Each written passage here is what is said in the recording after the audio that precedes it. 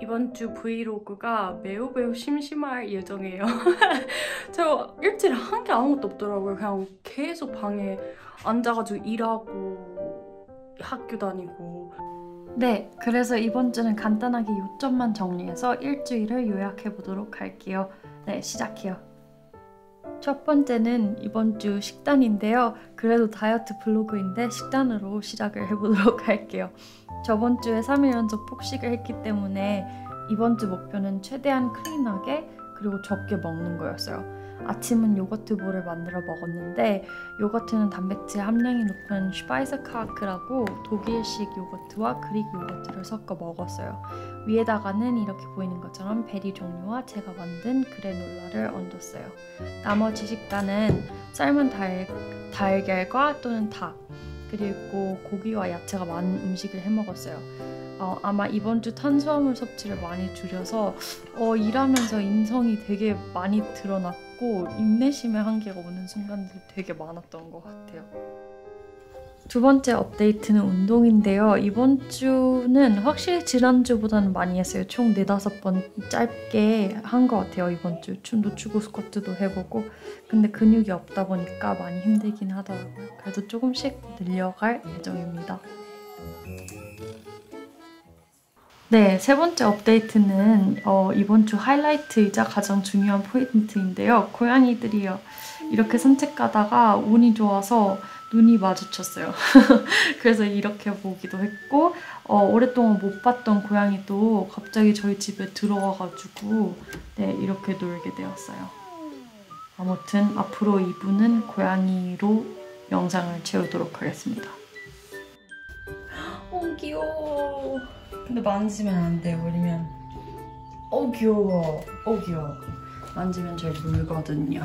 한두 번이 아니어서. 그냥, 뭐 했어?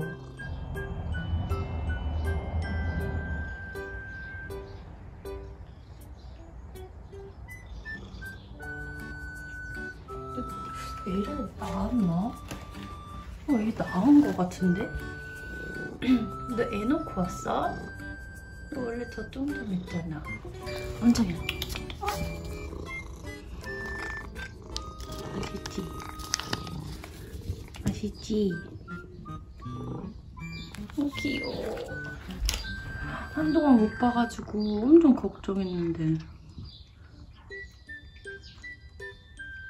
잘 먹네요. 안녕하세요.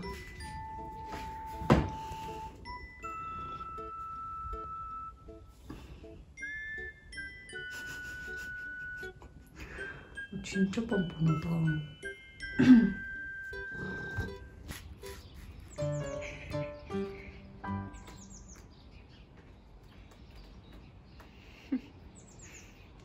귀여워.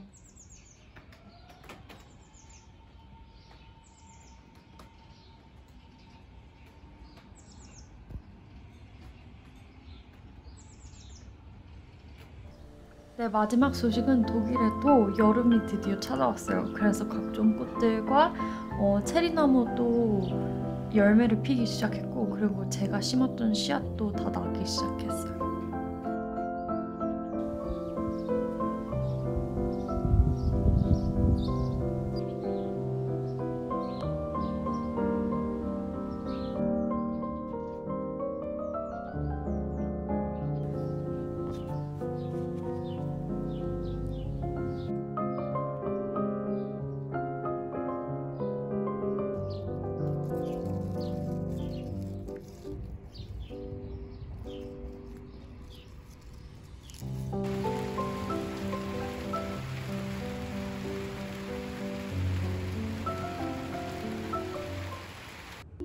네. 그리고 제가 새로운 목표가 생겼습니다. 저는 일주일에 딱 1kg씩 빼려고요. 그래서 총 10, 28kg 빼고 싶으니까 18주를 해가지고 목표로 빼고 음. 그럴 수 있을 것 같아요. 할 수 있을 것 같아요.